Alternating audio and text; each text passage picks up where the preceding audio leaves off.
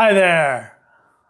Glad you're watching. This is another episode of Encouraging Word. My name is Dave and I pastor in glorious Killarney, Manitoba.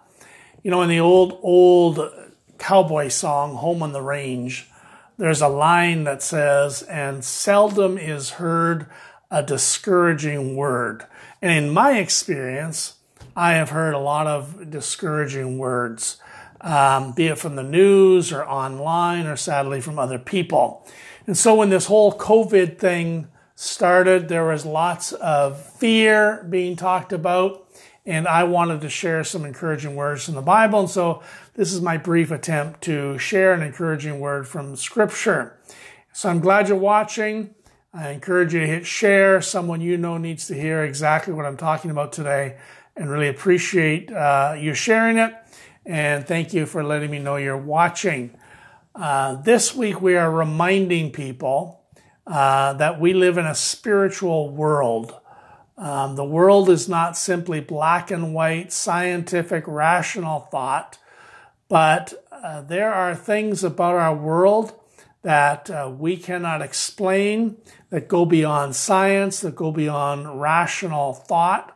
And that's why we believe in and pray for miracles. That's why we believe in and pray for divine insight from the Holy Spirit.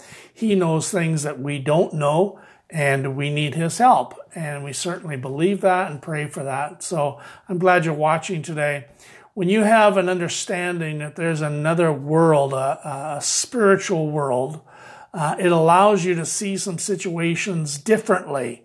Um, for instance, in Matthew chapter 26, when Jesus was arrested in the Garden of Gethsemane, you may recall that one of his disciples pulled out a sword and tried to cut off, I'm assuming, somebody's head, but instead he got his ear. And uh, he tried to defend Jesus, which would make sense. Jesus said to him, Do you not think I can call on the Father and he will at once put at my disposal more than 12 legions of angels? Um, the disciple was seeing things from a purely black and white, rational, scientific um, point of view. Uh, there's people coming to arrest Jesus. I'm going to defend him with my sword. That's what I have. Let's, let's defend Jesus. Jesus saw things from a spiritual perspective. And Jesus understood that the snap of a finger, he could call on 12 legions of angels. I'm told that's more than 10,000 angels if he had wanted to. Of course, in order for scripture to be fulfilled, he didn't do that. And Jesus was indeed arrested and eventually crucified. But God was in complete control of the situation. That's what we need to be reminded of. In 2 Kings chapter 6, Elisha, the prophet of God, is under siege by a foreign army. And when Elisha's servant looked out, uh, all he could see was scientifically black and white, rational thinking. We are surrounded. But when Elisha looked out, he saw things from a spiritual perspective. He understood that there was a spiritual world and he prayed a very simple prayer Lord, open his eyes that he may see. And suddenly the servant was able to see that it wasn't them who were surrounded, but in fact, the foreign army was surrounded by thousands upon thousands of angels who were armed and ready for battle. Um, when we see things from a spiritual point of view, a God perspective, even horrible situations are turned upside down because God is in complete control.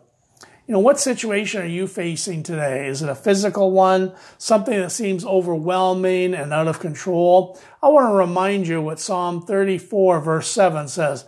The angel of the Lord camps around those who fear him and he delivers them. Notice the word camps. You know, I sometimes drive by the, the park where everybody camps and man, these campers today, I mean, they bring everything, including the kitchen sink. They have decks out there. It looks like they are never going to leave the campground. Um, sometimes this verse gives us the impression that maybe the angel of the Lord is just there for a temporary moment, but the Bible says he camps around you. He's there around you all the time, looking out for you. And so, no matter what you're facing today, my prayer for you is that God would open your eyes to see that you are not alone, that God is for you, not against you, that He has you covered, that um, God is in complete control of the situation you find yourself in today. And so, I just want you to relax, learn to trust Him.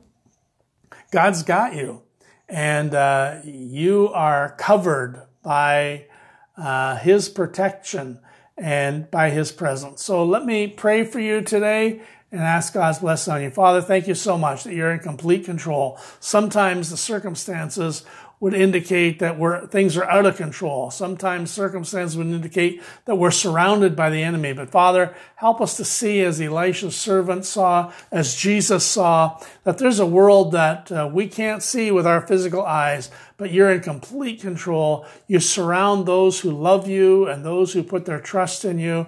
And so Father, help us to know today that the angel of the Lord encamps around those who fear him and he delivers them. So I pray your blessing upon each one today. May your words speak to our hearts. In Jesus' name we pray. Amen. Trust you have a great day. Thanks for watching. See you tomorrow, God willing, at one o'clock.